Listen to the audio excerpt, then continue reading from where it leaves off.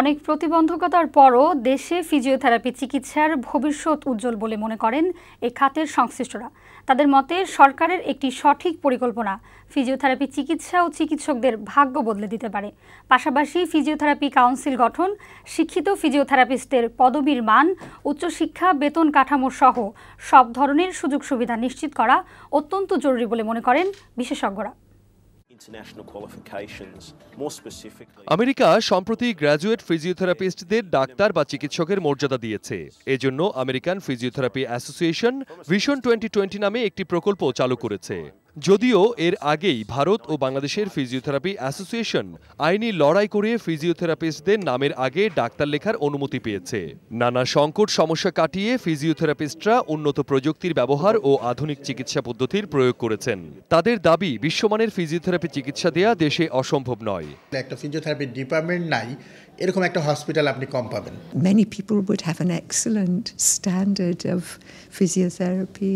Update evidence based যে practice সেটা আমরা নিয়ে আসছি লোকাল এক্সপার্ট ফরেন এক্সপার্ট এর মাধ্যমে। অনেক সম্ভাবনার পরও দেশে ভবিষ্যতের ফিজিওথেরাপি চিকিৎসার সামনে রয়েছে বড় চ্যালেঞ্জ ফিজিওথেরাপি যদি এখনই না বাড়া- না বাড়াতে পারি তাহলে কিন্তু আমরা ভবিষ্যতে সমস্যায় পড়ে যাব।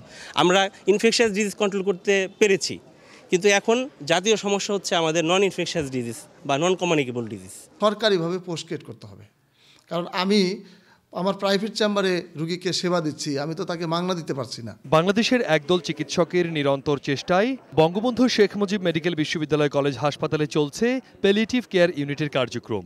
এই ইউনিটের প্রধান ডক্টর নিজামুদ্দিন আহমেদ জানান পেলিয়েটিভ কেয়ার ইউনিটের রোগীদের ফিজিওথেরাপি চিকিৎসার কোনো বিকল্প নেই। যে কোনো মডার্ন স্ট্যান্ডার্ড প্যালিটিভ কেয়ার ইউনিটে ফিজিওথেরাপির ভূমিকা অস্বীকার করার মতন না। প্রতিষ্ঠানের সহযোগিতা আছে কিন্তু এমনকি বঙ্গবন্ধু মেডিকেল বিশ্ববিদ্যালয়ের প্রশাসনের সহযোগিতা তো আমি সবসময় আমরা পেয়েছি।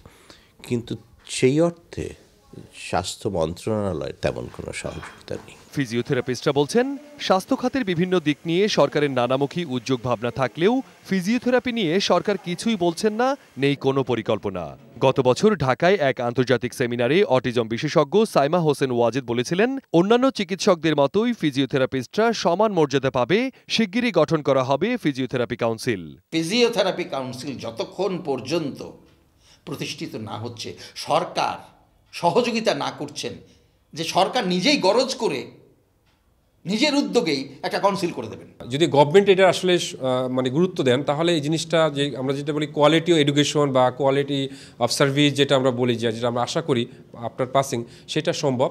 এ ধরনের রোগীদের সুস্থ স্বাভাবিক ও কর্মক্ষম জীবনে ফিরিয়ে আনতে ফিজিওথেরাপি চিকিৎসা জরুরি প্রয়োজন হবে বলে মনে করেন সংশ্লিষ্ট পর্যবেক্ষকরা।